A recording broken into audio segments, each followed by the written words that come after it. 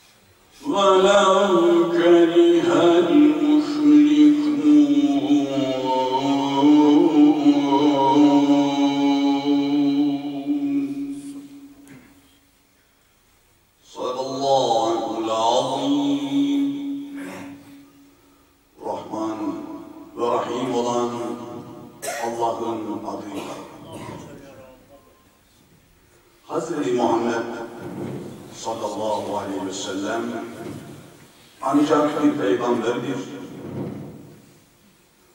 Ondan önce de peygamberler gelip geçmiştir. Şimdi o ölür ya da öldürülürse gerisini geriye eski dininize mi döneceksiniz? Kim böyle geri dönerse Allah'a hiçbir şekilde zarar vermiş olmayacaktır. Allah şükredenleri mükafatlandıracaktır. Hiçbir kimse yok ki ölümü Allah'ın üzerine bağlı olmasın. Ölüm belli bir süreye göre yazılmıştır. Her kim dünya nimetini isterse kendisine ondan veririz. Kim de ahiret sevabını isterse ona da bundan veririz. Biz şükredenleri mükafatlandıracağız. Nice peygamberler var ki beraberinde birçok Allah evleri bulunduğu halde savaştılar da bunlar Allah yolunda başlarına gelenlerden dolayı gevşeklik ve zaaf göstermediler. Boyun eğmediler. Allah sabredenleri sever. Onların sözleri sadece şöyle demekten ibaretti. Ey Rabbimiz! Günahlarımızı ve işimizdeki taşkınlıklarımızı bağışla. Ayaklarımızı yolunda sabit kıl. Kafirler topluluğuna karşı bizi muzaffer kıl. Allah da onlara dünya nimetini ve daha da ötesi ahiret sevabını, güzelliğini verir. Allah iyi davrananları sever. Allah'ın nurunu ağızlarıyla üfleyip söndürmek istiyorlar. Halbuki kafirler hoşlanmasalar da Allah'ın nurunu tamamlamaktan asla vazgeçemeyecekler. Bu Allah müşrikler hoşlanmasalar da kendi dinini bütün dinlere üstün kılmak için Resulünü hidayet ve hak din ile gönderendir. Yüce Rabbimiz en güzeli söylüyor. Elhamdülillah, elhamdülillah, elhamdülillahi Rabbil alemin. Esselatu vesselamu ala Resulina Muhammedin ve ala alihi ve ashabihi ecma'in. Euzu billahi mineşşeytanirracim. Bismillahirrahmanirrahim. وَمَا أَرْسَلْنَاكَ إِلَّا رَحْمَةً لِلْعَالَمِينَ Sadakallahu azim. Değerli kardeşlerim, Bugün burada bizler Resulullah sallallahu teala aleyhi ve sellem Efendimizin dünyayı teşriflerini kutlamak amacıyla idarecilerimizle, amirlerimizle, memurumuzla, çiftçimizle, esnafımızla, büyüğümüzle, küçüğümüzle, kadınlarımızla, erkeklerimizle bir araya geldik. Ve bugünü kutluyoruz. Allahu Teala'nın ayet-i celilesinde buyurmuş olduğu üzere alemlere rahmet olarak gönderilen o kutlu elçinin gönlümüze, meclisimize hoş gelmesini kutluyoruz. Hoş geldin ya Resulallah meclisimize. Hoş geldin ya Resulallah gönlümüze surur verdin, mutluluklar getirdin. Salat ve selam sana, senin ailene ve ashabına olsun. Allahümme salli ala seyyidina Muhammedin ve ala alihi ve ashabihi ecma'in. Değerli kardeşlerimiz, bu kutlu günümüzde değerli müftümüz İsmail Çiçek Bey de aramızda olacaktı.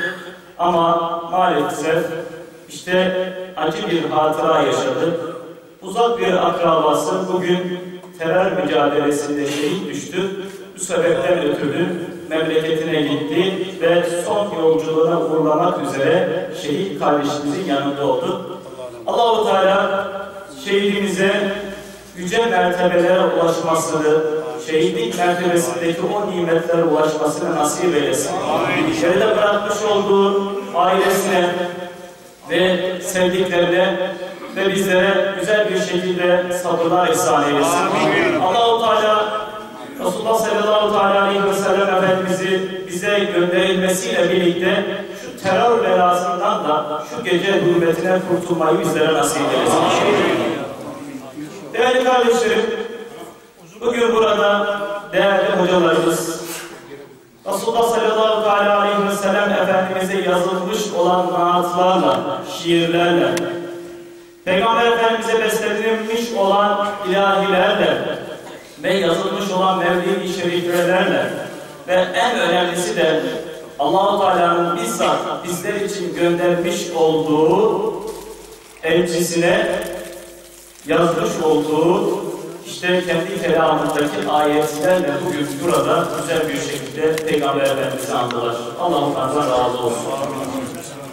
Ve biz de burada kısa bir şekilde onu en iyi tanıyan, onu yaratan, bizlere elçi olarak gönderen, ona Habibim diye, sevgilim diye nitelendiren Allah-u Teala Kur'an-ı Kerim'de Peygamber Efendimiz Muhammed Mustafa sallallahu aleyhi ve sellem için bizlere ne biliyor? Onu dünya hayatında dünya gözüyle gören, ona inanan ve dil dediğini iki etmeyen sahabe-i kiram ona nasıl sevgi ve saygı göstermiş ve onları anlatarak Peygamber Efendimiz'e nasıl bir ümmet olmamız gerektiğini kısa bir şekilde anlatmak istiyorum. Tabii ki burada kelimeler kifayetsiz kalıyor ama Allahu Teala bakınız onu şöyle nitelendiriyor. Başta Allahu Teala diyor ki kendi kelamında o bir elçi olarak gönderildiğini söylüyor. Estağfirullah. Ya eyyuhel Resulü bellir ma unzile ileyke min Rabbik. Ve in lem tef'al fema bellagta risalete. Vallahu ya'simke minen nas. Allah la yehdi men kafirin diyor. Diyor ki ey Resul, ey elçi Rabbinden sana ne indirilmişse onu tebliğ et. İnsanlara aç. İnsanlara bilir. Eğer bunu yapmazsan görevini yapmamış olursun. Ve görevini yaparken de Allah seni insanlardan, kötü niyetli olan insanlardan kesinlikle koruyacaktır. Allah inkar eden bir kavmi, bir topluluğu hidayete erdirmez diyerek onun Allah'ın kutlu bir elçisi olduğunu bizlere bildiriyor. Yine başka bir ayet-i kerimede Peygamber Efendimiz'i bir elçi olarak görmeyen, onu sıradan bir insan olarak görenler için de Allahu Teala şöyle sesleniyor bakın bizlere. Estağfirullah ve ma Muhammedun eba ahadin min ricalikum velakin Resulallah ve hatemen nebiyyin. ما كان محمد أبا أحد من رجالكم ولكن رسول الله وخاتم النبيين Allah Teala diyor ki o sizin çocuklarınızdan birisinin babası değildir. Velakin Resulullah o Allah'ın elçisidir ve hatemen nebiyyin elçilerin sonuncusudur. Yani çok değerlidir. Asırlar önce, daha Peygamber Efendimiz dünyaya gelmeden önce diğer peygamberler de Peygamber Efendimizin peygamberliğini müjdelemiştir. Ve Hz. İsa dünyaya gelip de insanlara Allah'ın o elçiliğini yaparken şöyle sesleniyor insanlara. Allah-u Teala da ayet-i celilesinde Hz. İsa'nın şöyle dediğini bizlere naklediyor. Estağfirullah ve iz gâle İsa ibn Meryem'e ya beni İsrail'e inni Resulullah ileyküm musaddiqan lima beyne yedeyye minel tevrat ve mübeşşiran bir rasulin ye'ti min ba'd ismihi Ahmet. Ve Hz. İsa diyor ki Ey İsrailoğulları ben Meryem oğlu İsa'yım. Ben Allah'ın size bir elçisiyim. Ben benden önce gönderilmiş olan Tevrat'ı tasdikleyen bir elçiyim. Ve ben benden sonra ismi Ahmet olan, ismi Muhammed olan bir elçinin de müjdecisiyim diyerek gelmiştir. İnsanlara böyle seslenmiştir. Ve yine baktığımızda değerli kardeşlerim, işte Allahu Teala sadece inananlara değil, Allah Resulü'nün bütün insanlara gönderilmiş olduğunu bizlere bildirir. Sadece bir topluluğa gönderilmemiş önceki peygamberler. O bütün insanlığa gönderilmiş. Kendisi